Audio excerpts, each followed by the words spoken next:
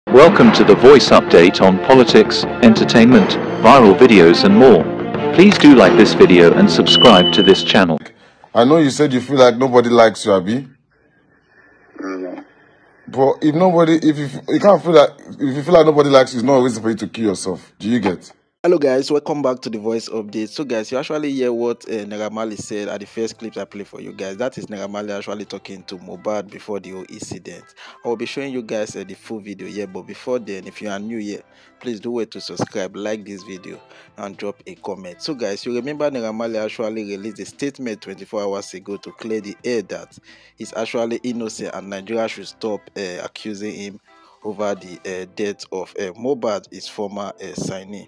Homo Neramalidor uh, finally released the last conversation he actually had with Mobad days before the whole incident. This is actually a recorded conversation with Negamale and Mobad. Negamale actually claimed that he, he spoke with Mobad few days ago before the whole incident. So guys, just take your time, watch this video, drop your comment at the comment section, and don't forget to subscribe.